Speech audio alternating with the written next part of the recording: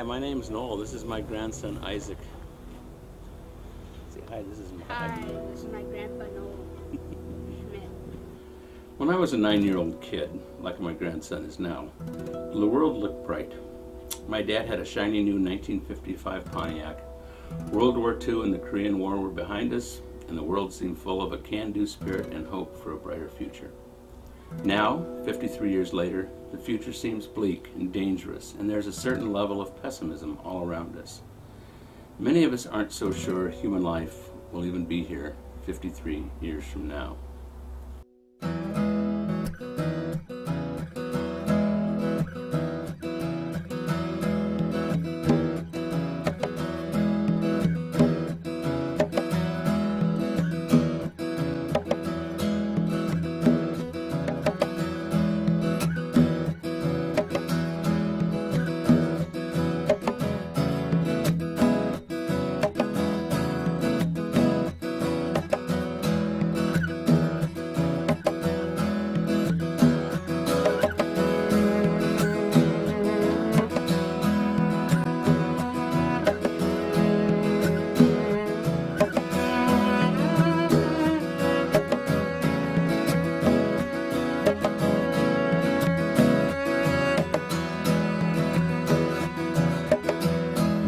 Mission of Patchworks is essentially to create an outdoor learning laboratory where students and adults and kids can come and learn ways that we can create a lifestyle that is more sustainable.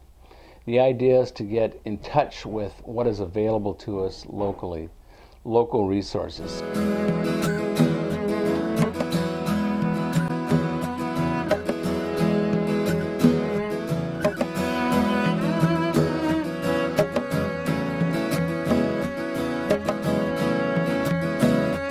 I'm Katrina Delgushkin, live here at Patchworks Farm. Uh, the most rewarding thing about being on Patchworks Farm is just getting out here and planting. I love to plant and I love to see everything growing. Yeah, helping out and feeling useful. I planted potatoes over here in the garden because like I noticed a knoll. I asked him if he had potatoes and he's like, no, we never really thought about it. So I was like, can I plant some? And he said, yeah. So it was pretty cool to like actually bring like some of what I do up there down here to school because I'm just going to school down here for an ag business degree. I like the thought of like growing your own food, you know? It's like really, it's kind of senseless to go to a store and like pay all that money and stuff when for 99 cents you can buy a sack of seeds and it's like, you can plant all this stuff, you know? It's really awesome. I don't know. I like that and I like like just being outside.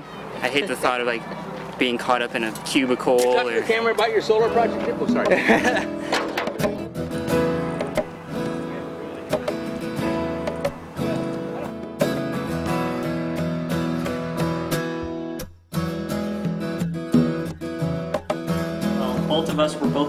for a senior service project, and uh, we started over at St. Rose School back in the beginning of school. Uh, we were teaching the sixth graders during their science class about the environment, and then uh, Tyler kind of introduced us up here. We want we taught them, you know, kind of the book smarts, and now we wanted to move into the street smarts as far as applying what we've taught them in a larger sense. That way, they can go home, you know, what we hope and what uh, seems to be relevant is the kids go home hey, mom, dad, can we get a compost pile going? This is Lucas Michael Toplos live at Patchworks Farm.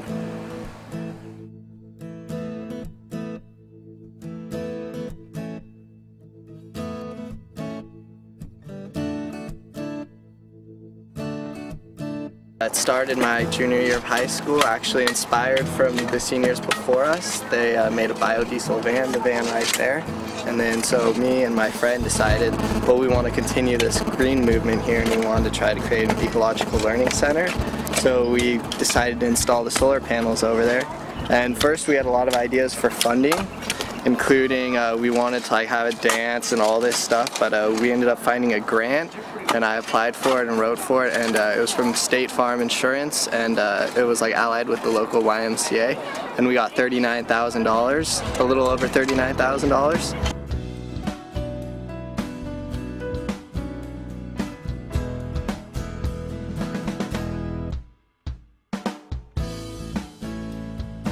Hopefully we'll get more next year and more next year, and we'll just be able to build upon the program. We really want the Youth Advisory Board to spread out to the community and kind of affect all schools and get the whole entire community involved in it. We were doing this garden, and then I was watching news one night, and I saw Michelle Obama working with children planting an organic garden. And I thought, wow, at the White House. You know, and I thought, this is what we're doing here. And I remember coming into Marlena and Noel and I said, I think that makes it more exciting for the kids because when they come here, you can say, wow, you know, that's the same thing that's happening at the White House.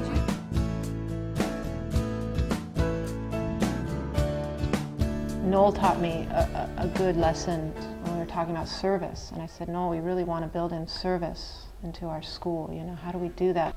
And he said, you already are.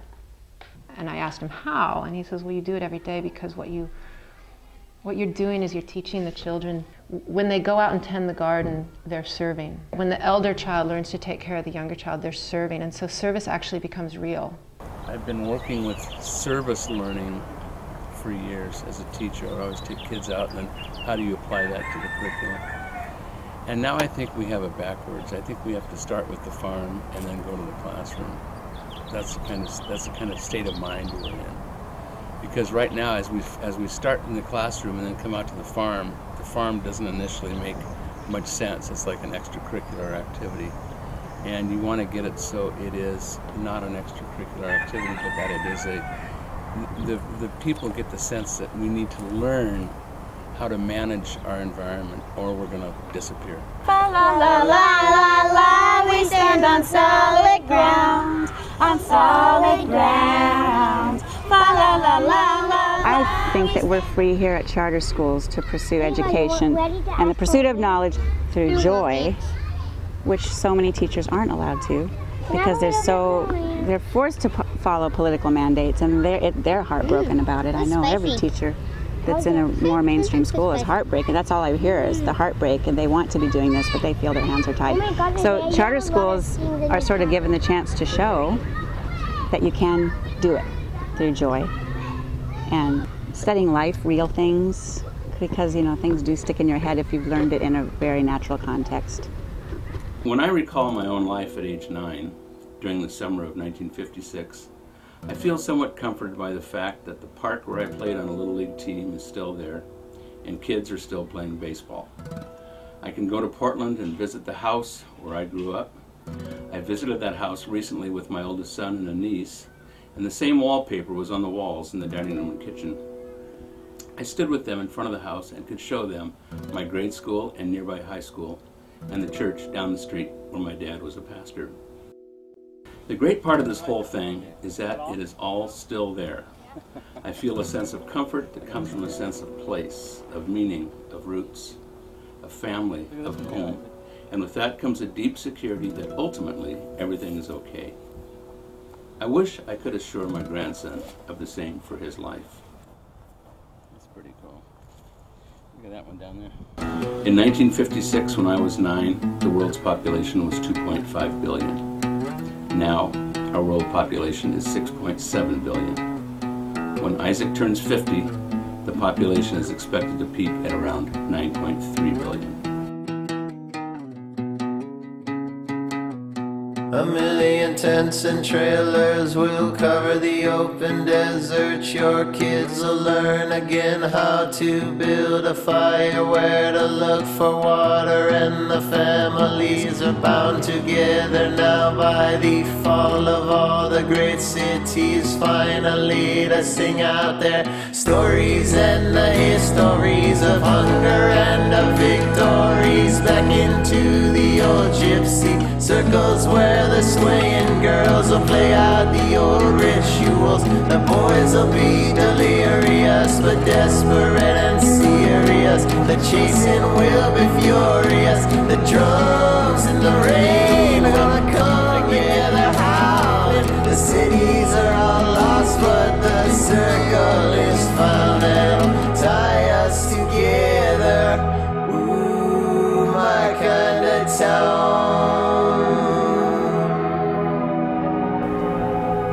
us to work with the children growing up in this uncertain time and help them find answers to those serious questions about our prospects. These are the questions we need to insert into our educational system, and these are questions we should make a priority of our time. Patchworks Farm is on a path to foster optimism and reliance on human spirit that has the will to transform itself, to keep life going and create a livable future for our children. Most of my energy comes from a deep emotion to let Isaac know that I did what I could at this stage of my life to keep this beautiful little blue ball still habitable for him and his family.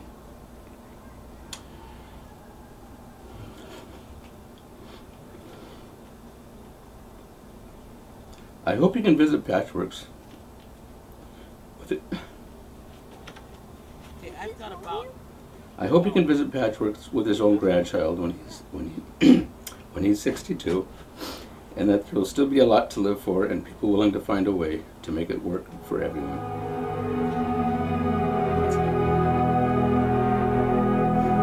Who were you before the fall? I was a singer, saw the future laid out in dominoes. Now and my darling, who were you behind the counter with the day memorized and those cold vacant eyes? Well, you swore you were free, swore you could see him coming. It was old angel midnight staring at you